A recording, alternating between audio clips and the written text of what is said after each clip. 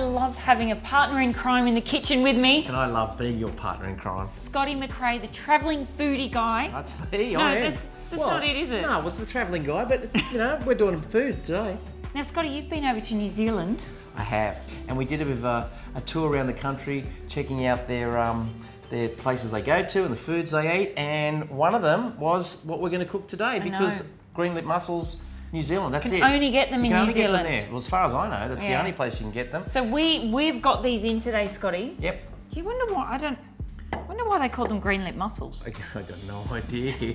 I don't know. Clever people, Yeah, those I New know. Zealanders. There's just that's friendly banter. There hey, you go. Right there. There you go. So, Scotty, we're going to do a really simple recipe with them today. Yep. We've seen a million times tomato and chili mussels Yeah, and know, mussels in cream. white wine do something a little bit different because I like to mix things up a bit. Excellent. I had a very similar dish to this when I was traveling in Spain, actually. So we're going to do some pickled mussels, Oh. all the way from New Zealand, done here in Melbourne. That's interesting. This is international. With the New Zealand this mussels. is international food It right is. here. So we're going to get a pan on, get that nice and hot. Mm-hmm. So Scotty, normally with mussels, when you get them and you need to scrub them and clean them before we start cooking them. Yep. Not with this recipe. And if you want to get some live little black mussels, you can substitute the black mussels that we get here in, They're nearly as in New tasty. South Wales. Chuck them in. I don't want all that liquid that's at the bottom. Yep. These will need two or three minutes in a hot pan. And they'll just open them up themselves, won't they? I'll open up. We just want to steam them open. More. Go on with a little lid. Enough of their own juices will come out to create a little stock down the bottom. They'll open up and then we'll be ready to get on to the next part of the recipe. A bit of the ocean in there as well, still. Taste of the ocean. Mm. All right, Scotty, there we go. Oh, A few of them are Yeah, started to open. That's all we need. We only want them just cooked. So I've got a little strainer there. And we just need to let these cool. Because we've got to get our fingers in there, right? We're gonna we're gonna pick the mussels out. Drain off any of that liquid.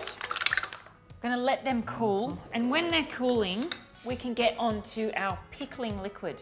It's got some vinegar. You thought that was Straight in? He thought that was whiskey. Yeah, oh, No, straight in. Oh, I Sugar, Sugar. chili, garlic, peppercorns. That can all go in. We're gonna bring this up to the boil. Normally we wouldn't put chives in, but we've got a rogue in the kitchen today that's gone crazy throwing things in the pot. Do you know what? I was I was just still in New Zealand. I was I was looking at those big fjord lands and just sorry.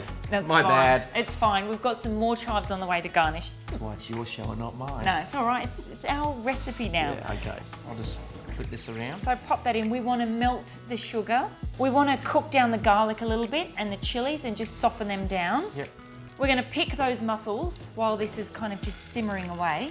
And it's nice. Put me and you to work with this, and then when we come back, we can pour this pickling liquid over. Give them about an hour. and We're ready to roll.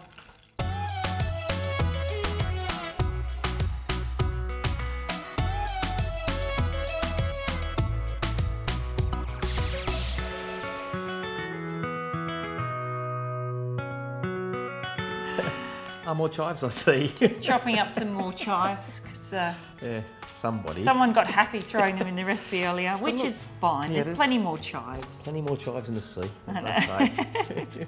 All right, extra chives are done. Look, you can eat them like that Yeah. if you want. I like them. This is how I had them in Spain on a little uh, little piece of bread, a little uh, kind of pinto, Ah, pinchos, Cheese. bit of the chili. You, you good with chili?